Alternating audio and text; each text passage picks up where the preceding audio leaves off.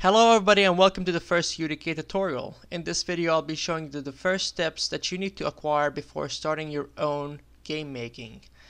UDK is a free application. You can download it from the site udk.com and it is an extension of the Unreal Engine which would cost you a lot of money if you want to start off with that. Now in this tutorial we'll be going through the basics, um, objects, triggers, and all that stuff that you need to know before actually making your own game. To begin with, we're going to go to new, new level, midday, and you're going to see the background, sky, the foreground, and the objects in front of you. This is pretty basic scene right here.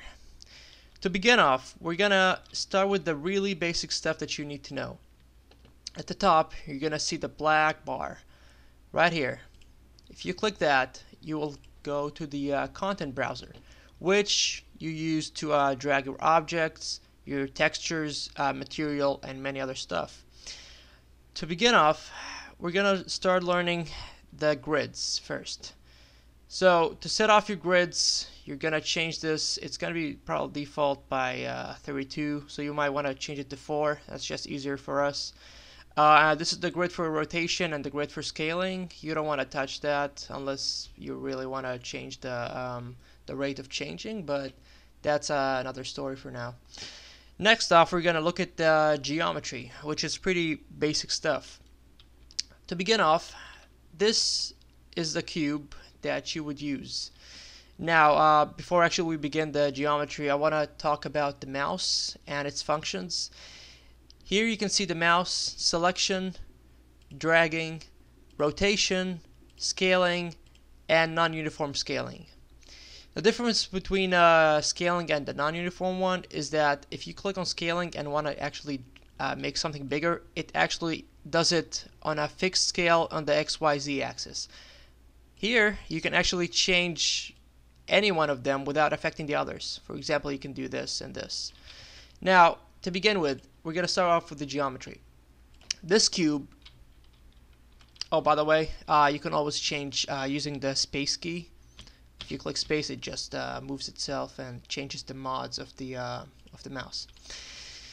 Okay, so this cube is what I call an empty cube, and it is what I use for um, actually changing and creating shapes. For example, if you put this right here and you want to make a, a perfect cube, all you have to do is just click add and you will have a cube. Now it is floating in the air, but if you want to take a look on the uh, all the angles, all you have to do is just click the right up uh, corner right here. In this uh, scenes here, you will see the ground, which is the red line over here. So this will be the side, the front, and the top. So if I want to center this to be exactly on the ground, all I have to do is just drag it until I see that it matches the ground right here. To get back, you click the same button on the scene that you want. Alright, now we started off with the cube, but we can always change it to circles, um, cones, and drag it down just to see. Oh, uh, one more tip. Uh, if you want to move uh, freely, uh, all you have to do is just uh, keep uh, hold on the right click and the right mouse button and you can always move using the WASD. Alright, so these are the shapes that you can actually assign. These are the ones that you want to like take a look at here. This one it says add the CSG, which means uh, adding the object, making it existing. This one is actually subtract subtracted, which is removing it, of course. These are two are for uh, further uh, future uses. I'll show you about later. Now, to begin with, um, let's say we want to make a circle. Uh, it's not a good-looking circle here, but anyways. So all you have to do is just click add, and if you want to subtract that or delete it, all you have to do is just subtract. Alright, now for the properties of each cube, you would need to select the red uh, object again. I'll drag it up more. Then you make it a cube, and if you want this cube to edit its properties, it's very simple. You right click on it, you can see the X, Y, Z, you can uh, manipulate that, make it bigger, smaller, whatever you want. You can actually make it also hollow, so you can go in it. So if you make it hollow and click build, you would end up with the object being actually not full on the inside, but let me make that perfect. Okay. Now let's say we want to cut inside the object. What we'd have to do is, uh, okay, now I'm clicking space to move to the uh, uniformal scaling, or yeah, it's yeah the scaling model.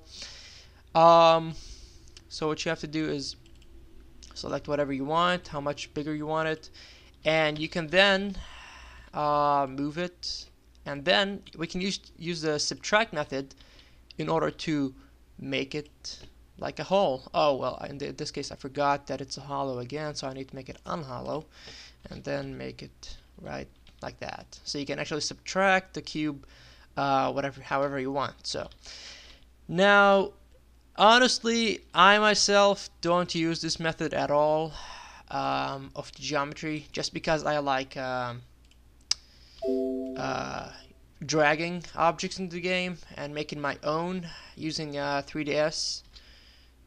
Uh, one second, okay.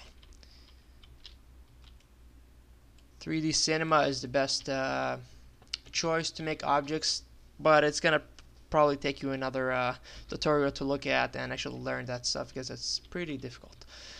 Uh, next off, so we covered grids. Um, we're gonna start with the um, the lighting. So let's make some cubes. And let's say those cubes happen to make a building. So put this one here, put this one here, and let's see, you want to put something over here. Now what this creates is some shadows and complete darkness at the top. In order to avoid that, we can always click right click, add actor, and light point. What this light point does is add light, you guessed it.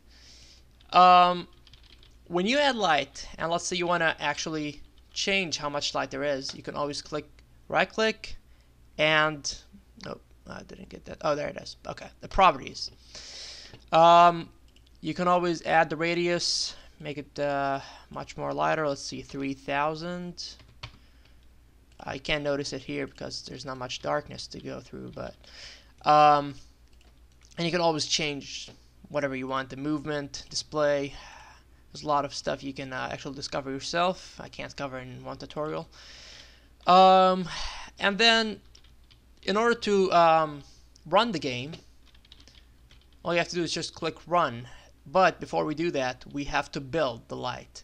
Any geometry or light that you build will have to be built. You can always build geometry, lighting, paths, and shapes but I always click build all just in case I'm missing anything.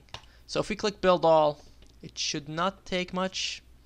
It's pretty simple lighting here. Depends on what computer you have. Is yeah, if you have a fast processor and graphics card, you probably have a fast rendering. Uh, in this case, it's probably just doing its thing. Alright. Well, I'll get back. Come on. I'll get back when I uh, finishes the thing. Okay, so here it is done. All you have to do now is click play, and you can actually move around, and you can actually see the light. But um, I personally don't like this game mod right here. So click escape, and uh, now we're gonna change the game mode. So what you're gonna do is go to edit actually uh, what was it uh, view world properties uh, game type you're gonna change this to UT deathmatch there's many stuff to explore but I'm gonna go with UT deathmatch what this gives you is uh, basically guess it it's a deathmatch it's a gun and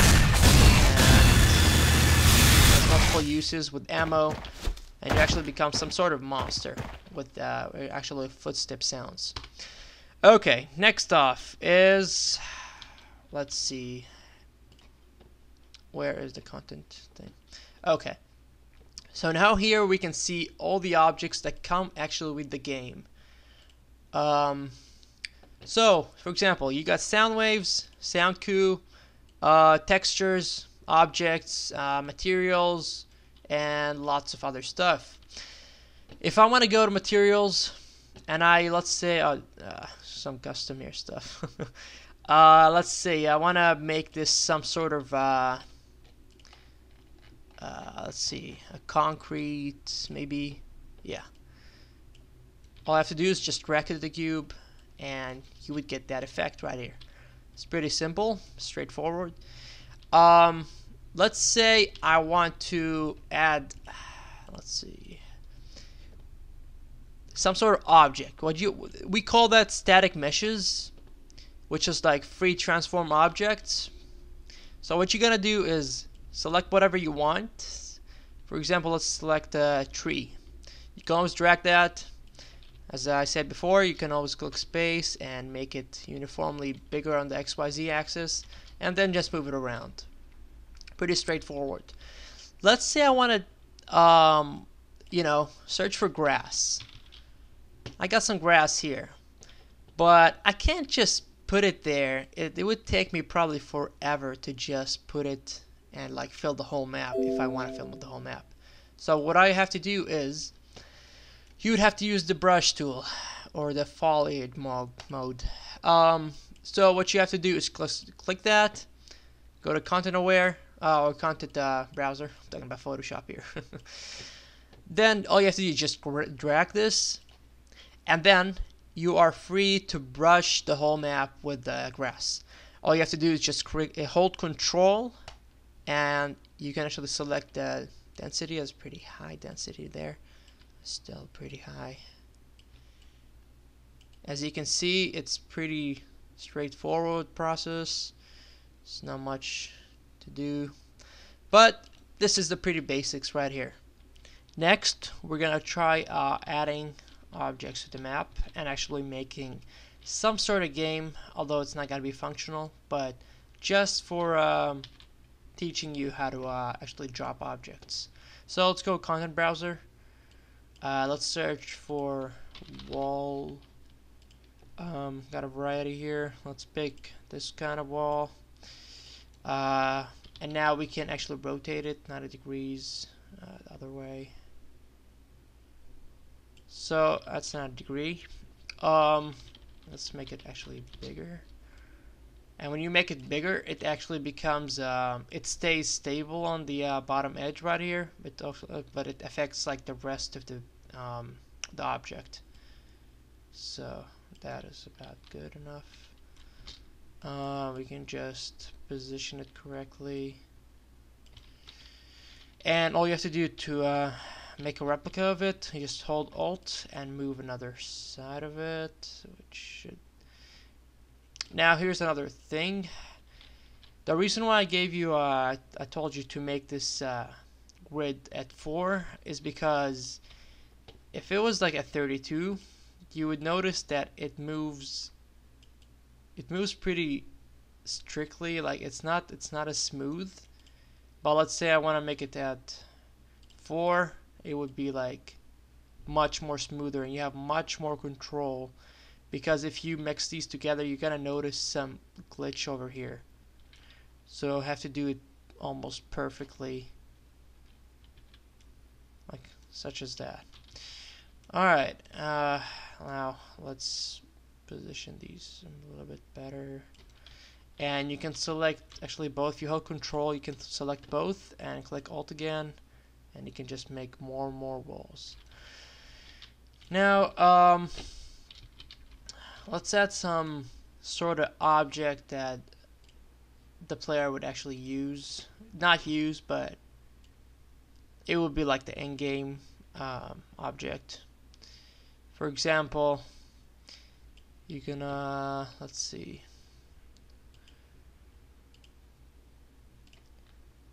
So I'm gonna use this, uh, okay, probably this one, the boiler, maybe.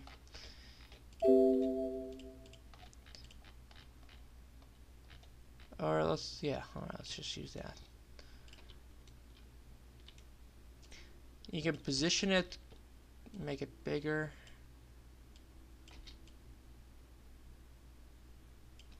And just place it anywhere. And if you play this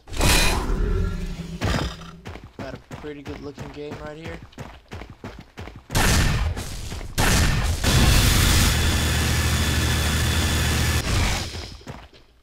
Alright, that seems good enough.